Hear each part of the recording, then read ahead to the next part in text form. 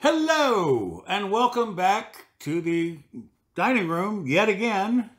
Again, not for cameras, but for camera accessories. I don't know if you remember, but I, every time I promise you, like I said, I'll do a tripod and other accessories video, or microphones and other accessories. Well, if you notice, there were never any other accessories. Uh, the microphone video ended up being almost half an hour just being about the two microphones. The tripod video turned out being almost half an hour because there were, ended up being three tripods. See, I, I was originally just going to do the one, but I figured I'd... So here are all the accessories that didn't make it into those previous videos that they were promised in. But there's also one really cool new thing that was not mentioned before. And I'll get to that last. So the first thing, and this is like not a lot, but it's uh, K&F, which as you recall is the brand of tripod that I was so enamored with in, in the tripod video. So anyway, this is an ND filter. This is for filtering out you know, bright daylight. So it's a good thing to have. And they're also, it's also the, the weird 41.5 millimeter, which which fits on the inside of the kit lens for the A7C and also the ZV-E10. So it, again, see, this is the advantage that I mentioned of having multiple cameras with the same kind of lens system. So here, this filter will work on two. And the macro lens that I have from that got, came with one of the cameras from Vivitar, it works on both of these cameras, the ZV, the, the A1, the A7C and the ZV-E10. And it comes with a little cleaning cloth. Okay, not so exciting. Now this, this is a SmallRig product, but if you're familiar with SmallRig, you think, oh, it's a little cage or something for the camera.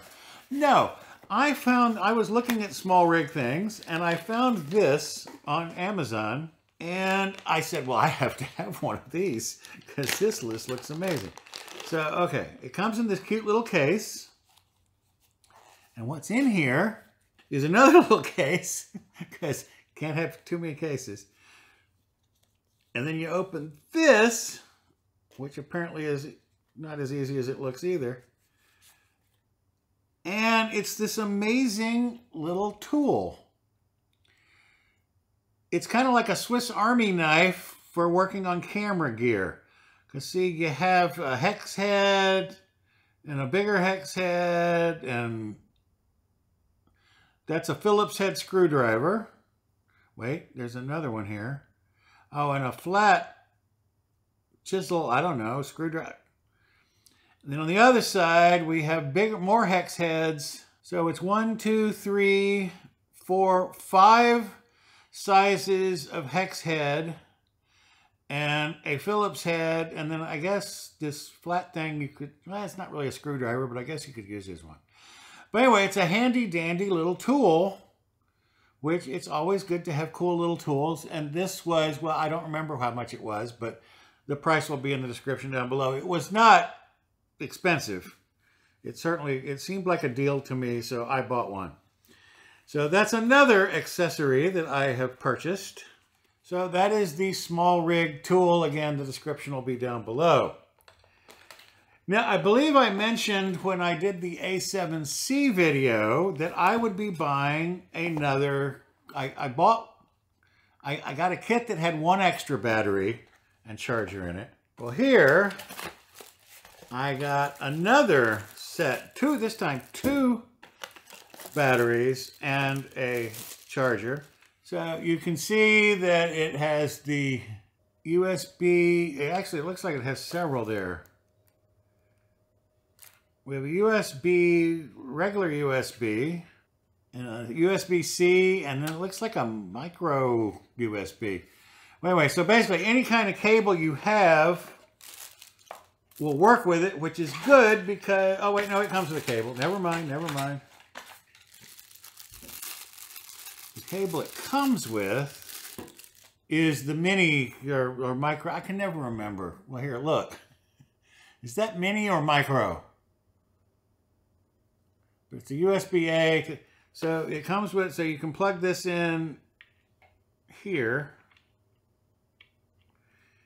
and it will charge two of these batteries. So now the, the, the faux NP-FZ100s, remember they have the over two hour capacity, and this little case, and it's kind of a little carrying case for them too.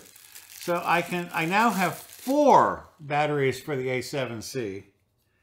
So I can go for four, six, eight hours. Oh, it even has little charging lights on here. Okay, there we go. It has no documentation in the box. But written right here on the outside of the thing, it's not just a charger, it's also a power bank. So you can use it, you, you can use this cable to charge it, or you can use it and use these other cables, these other, to charge other things. And see, it has the, the, the, the what made, what tipped me off to this were these indicator lights. So it'll show you if it's charging or if it's being discharged and charging something else.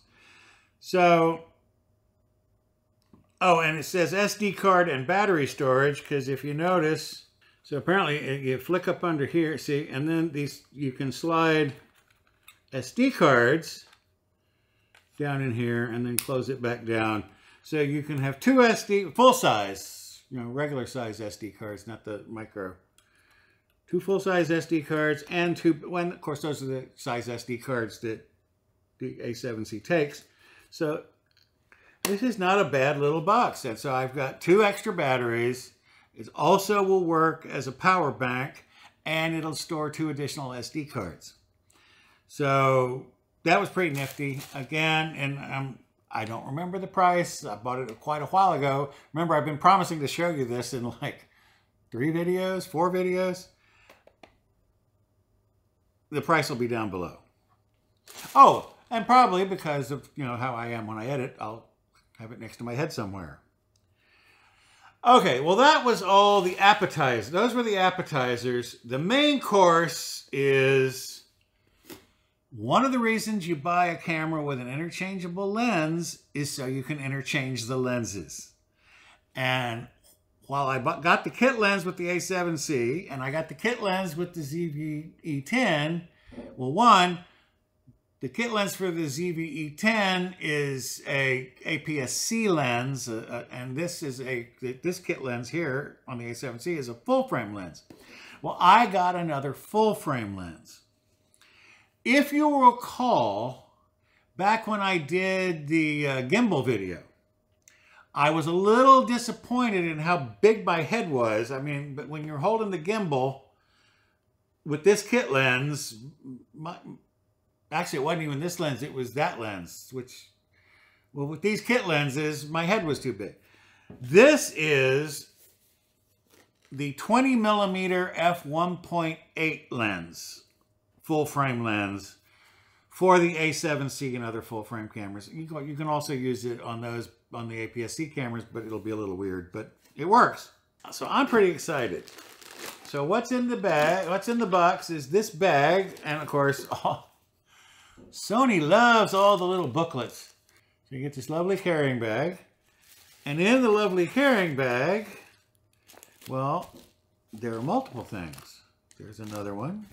Okay, it feels like there's something else down here, but what it is, is it's a padded bottom, fairly thick. About, feels like about half an inch thick. A padding so that when you drop your lens in, put your lens in this way. So the padding there, because this is the more delicate end of the lens. Now, again, this is not a 41 or 40.3 millimeter open. This is a 73 millimeter. So now I have to go buy another ND filter once I figure out what ND filters are for. But it's got a lens cover. It's a G lens, which is the, the higher end. So yes, this was expensive. This is, this is almost $900 for this lens. And then there's the end that attaches to the camera. I'll be putting it on the camera. One of the features has a little click on off button. So that's for the for the f-stops. When you add on click, I don't know. You probably can't hear that. But you can feel it. There's a click, click, click, click. It clicks and stops. Or turn that off and it just turns freely.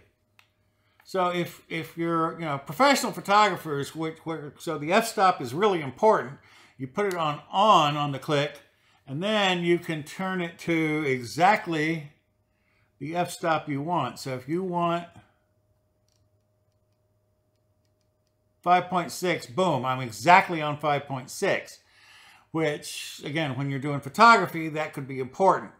When you're doing video, however, it's much more likely that you'll just want to move between and, and sometimes on the fly, so you don't want it clicking. And then, of course, this is the focus ring here. But again, there's another little button over here, autofocus, manual focus. I, of course, since I'm be shooting video, will almost always be in autofocus because that's just the best way to shoot video. And again, this is a very good lens for autofocus. It's got really good fast motors, so keep it in focus. And again, you know, with the A7C and the eye tracking and everything, you get really good focus. Let me put it on the A7C. So right now, the A7C is across the table from me, so my hand is still about, looks like about a foot from the lens. So, because there's the whole table width here. So my, my arm is about a foot from the lens. And you can see, what, what, what, what do you get over here? Over here, you can see the frame. So I have I have this entire, almost this entire chair is in frame. And on this side, we go to about here. Now, let me switch the lens. This is the 20 millimeter focal length f1.8 lens. And look at the difference. Now, remember in on the on the kit lens, uh, we stopped about here and now we continue on over here. On this side, what we stopped about here, thereabouts, now we go. So we have a much wider angle. Now, in future, when I'm doing this, sitting at this table, I will probably continue to use the kit lens because I don't need this kind of wide angle view from across the table. But when I'm vlogging, when I'm holding this, this camera near my hand, so it's like half the distance, because right now my fist is half the distance between me and the camera. So when it's half the distance and I'm holding it, well then the wide angle will pull in here. But remember when I used the gimbal, it was way in here. So I'm really looking forward to using this lens and I, I may now I may actually do some vlogging. It is a little scarier to talk to, however, because as you see this lens, I'm looking into this little tiny hole, right? 40.3 millimeters. This lens has a 70 millimeter opening. So I'm looking into this big round piece of glass. It kind of looks like if you ever saw the movie 2001, it looks kind of like Hal's eye, but without the little red dot in the middle. But it's the same, you know, it's a, anyway.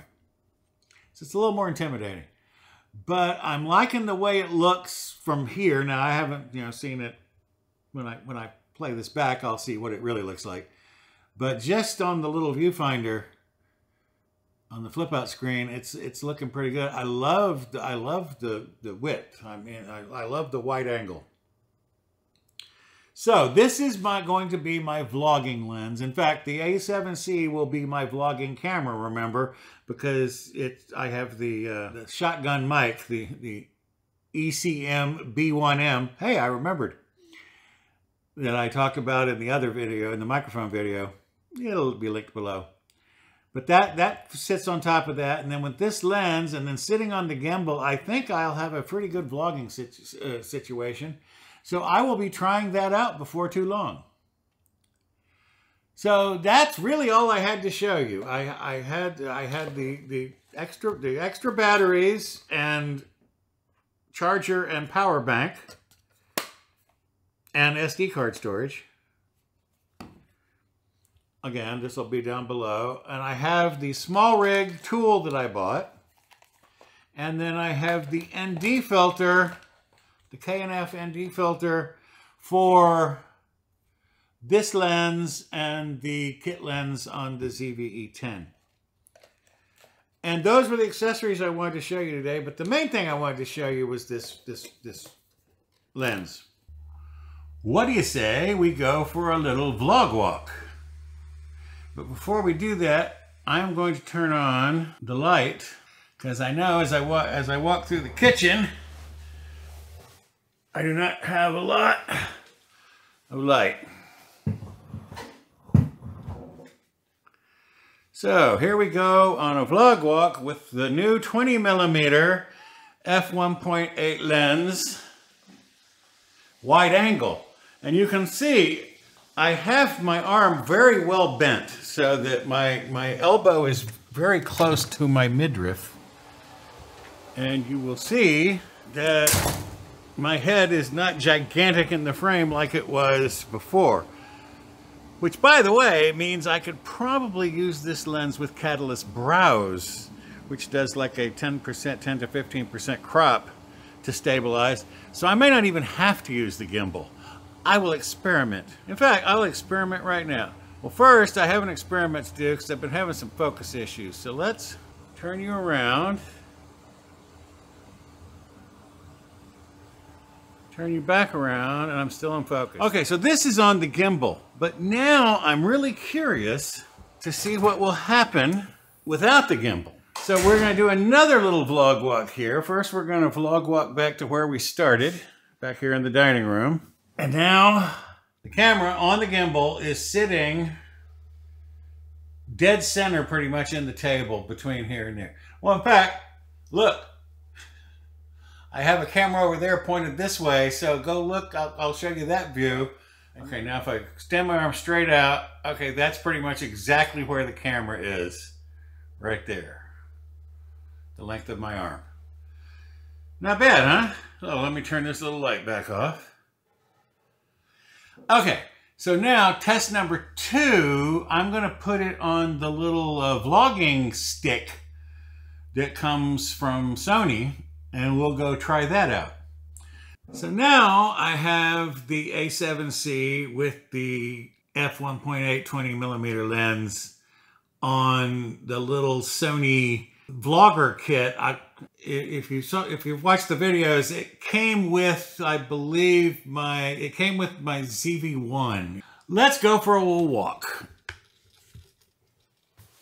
Now, what I'm going to do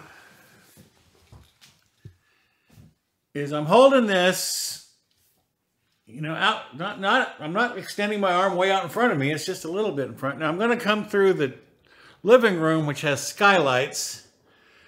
So we'll get a little, it's, it's getting, it, there's, it's, it's a rainy day. Okay, but now we're in the backyard by the pool.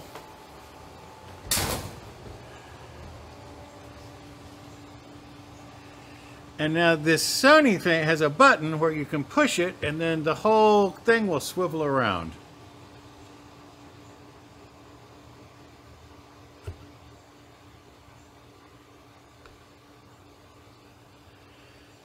So, there we go. I have the microphone in omnidirectional, so you should be able to hear me. Now I will flip it back around to me. There we go. Now, I'm going to, in post, run this through Catalyst Browse, the free Sony software that stabilizes. So while it may be a little jumpy as we're walking around out here, okay, by the way, that's my arm fully extended. Now again, with the gimbal, this is a painful position to be in, but with this little lightweight, little selfie stick kind of thing from Sony, it's not at all hard. I mean, I wouldn't want to hold it forever. But you can see with this wide angle lens, I get a lot of uh, width here to my picture. but clearly not enough light as we go back indoors. But now we'll come back in the living room, again, where we have the skylight, so we'll get some light back.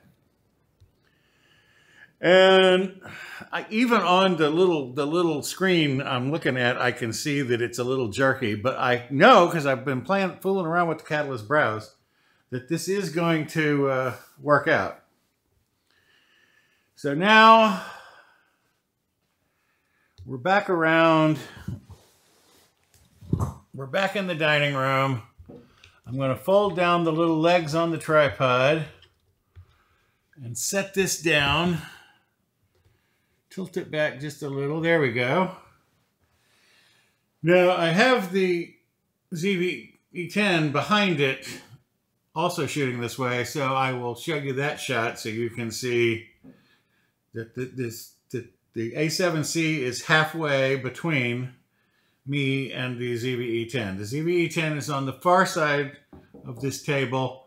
This is dead center in the table, the A7C. So I think this would be a pretty good vlogging camera. And after you look at the footage and everything, you'll see with the Catalyst browse, I may not even have to use the gimbal, which would make life a whole lot easier when I'm traveling. Because that gimbal, well, here, look at the size of this thing. Walking around with this, with the camera mounted on it, it's kind of a big deal that everybody's going to notice. But again, I'll cut to this other angle so you can see walking around with this little guy. I mean, it's still very obvious that you're walking around with a camera pointed at yourself, but the gimbal makes it just a little... Now, again, see, it's a little shaky, but again, I will run this through Catalyst Browse and show you how it looks. So, we now return to the unboxing review already in progress. Did I just come back from showing you some shots, some vlogging shots with this with this lens? If so, what did you think? This lens is pretty amazing. I'm very pleased with it. That there are a lot of videos you can go watch. There's there Sony has a, a G Master lens, the, the next step up from this, that's a like 24 millimeters and I think f1.2 instead of 1.8 but it costs like twice as much. And it's bigger and heavier. This is this lens is not a lot heavier. It's bigger than this lens, but it's not a lot heavier than this lens. I will, by the way, I'll put the specs of this lens and that lens, you know, next to my head. I'm pretty pleased with this lens. I think there's going to be a lot of vlogging in my future. Well, maybe not a lot, but there will be vlogging in my future because I think this is the lens. So, you know, I promise y'all a trip to Buc-ee's when next time I go to Texas. Well, maybe I'll be able to deliver now that I have this lens and this camera and this microphone. So it took me a, a, while, but I've slowly accumulated the gear I need to do the kind of shooting I want. So that's it for this video. I have no idea what's coming next week. I, am I think uh, this one's probably being shot out of sequence, so I don't know. it's in between other videos, so this is like a this is like an extra extra added attractions. So I can't tell you what's coming, but there'll be another video next week. So come back next week. Have a good time. Bye bye.